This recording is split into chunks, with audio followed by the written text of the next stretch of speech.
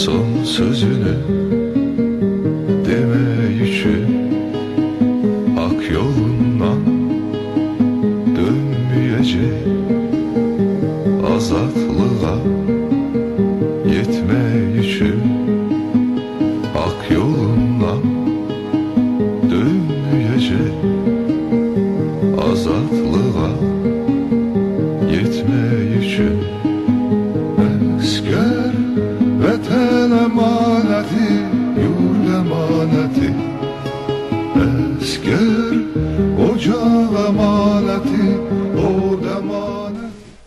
Yusubov İlbur Sələmdaroğlu, Kəbirlikə sakiniyəm. Ee, Oğlumdakı Yusuflu böyük ağa hərbi xidmətini çəkəndən sonra gəldi ki, nata mən də max olmaq istəyirəm, hərb olmaq istəyirəm. 20-si oktyabr, apreldə gəldi, qutardı gəldi. İyul aydakı bu maxlığa qəbul oldu, getdi imtahan verdi. Hə, ikinci dəfə hərbi hissəyə qulluq eləməyə getdi. Füzuli gedən döyüşlərində maxı kimi iştirak edirdi. BMP tuşlayıcı idi. Onun BMP kimi maşınıdır, orada tuşlayıcı kimi aparator fəaliyyət göstərirdi. Hə, Füzulidə gedən o 40-ın döyüşlərində şəhid olmuşdu. Hə, neçə kətlərdə, neçə ondan sonra o Füzuli rayonunda erməni tankının neçəsi məhv eləyibdi.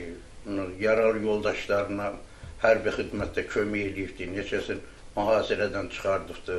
Hə, BMP-sinin üstünə o minamyot düşüb, ya BMP-nin içində təmiz məhv olmuşdu. Onun heç bir şeyini əldə edilmədik biz.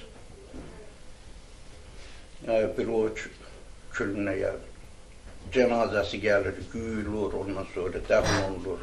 Biz onu eləmədik, elə elə bu e, tabutda getdi.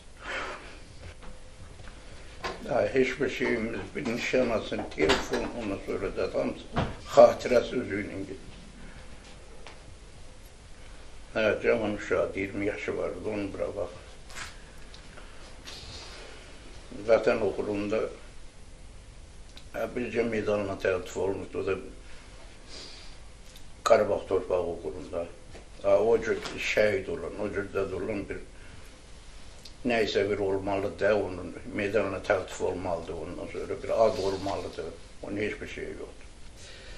Ben Yusuf'lu Böyük Ağa'nın anasıyım.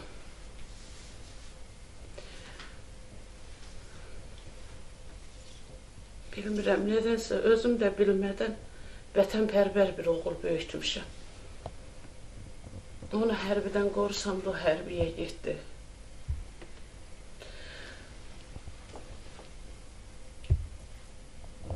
Bəlkə də onun da çox arzuları vardı. Ancaq o şeirlərində yazıb, əgər şəhid olsam, ana bil ki, arzuma çatdım. Onun bütün şeirlərin sonradan tapmışam.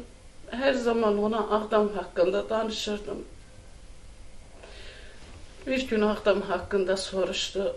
Ağdamın meçidini təsvir elətdi deməli. Öz aləmimdə ona təsvir elədim. Həmin o şəkilləri çəkib Ağdam haqqında da şeirlər yazıb. 20 yaşı sentyabrın biri tamam oldu.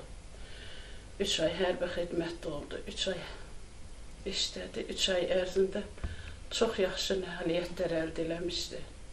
Gələn yoldaşları hamısı ondan fəxr eləyir. Komandiri də fəxr eləyirdi. Mühasirəyə də düşmüşdülər.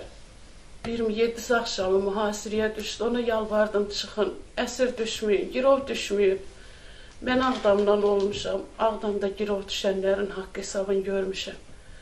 90-cı illərdə istəyirdim şəhid olsa da ancaq girov düşməsin, qorxurdum. Amma o düşmədi. Bircə kəlmə mənə dedi ki, mama bircə söz var, onu atama dedirtmərəm. Həmin gecə komandiri yaralıymış, komandirin qoruyub, saxlayıb. Komandir Səyid gəldi dedi, bu gün həyatda olmamı mən Yusifliyə böyük ağıya borçluyam. Özüm də bilmədən 20 yaşında qəhrəman oğul böyütmüşüm. Hiç farkında olmamış ama benim için körpe bir uşağıydı. Beş uşağıydılar. Üç bacı, iki kardeş. Bacılarının küçüğüydü büyüğü. Ama hemşe bacılarına büyük kardeş gibi hareket eləyirdi. Allah cəmi şəhidləri rəhmət eləsin. Onların yeri onsuz da cənnətdir. Ama istəyərdim ki, onlar o qanların halal eləsinlər.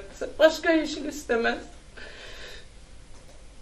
Onun arzusunu həyata keçirtmək istəyirəm. İstəyirəm gedim Ağdam torpağında onu yazdığı şeir kimi yad eləyim onu orada. Onun arzusunu həyata keçirmək. Düzdür. İstədim. Allah'a yalvardım. Çox şükür qanları yerdə qalmadı.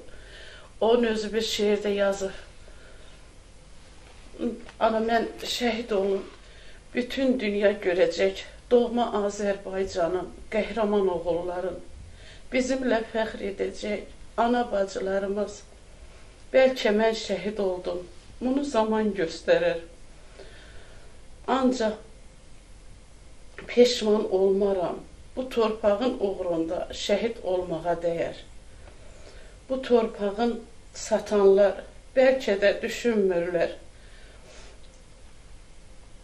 Vaxt gələr bu torpağın Heydər kimi atanın İlham kimi bir oğlu arxası dayağı var. Onunla qeyrət, onun qoyduğu yolun böyük davamçısı var. Onunla fəxr edirik. Bilirik ki, hər zaman bizi qoruyacaqsan. Sənə arxalanaraq hər zaman sözümüzü deməyə hazırıq biz. Cənab prezidentimiz, Ali Başkomandanım bu söyürü yazdı BMT tuşlayıcısı Yosifli Böyüyağa. Onların hamısını özü yazırdı. Amma heç birindən xəbərimiz olmuyor. Çox şükür. Allah yerdə qalanlara dəyməsin. Xudavənd Kərim Allah. Şəhidlərimizin də ruhu şad olsun.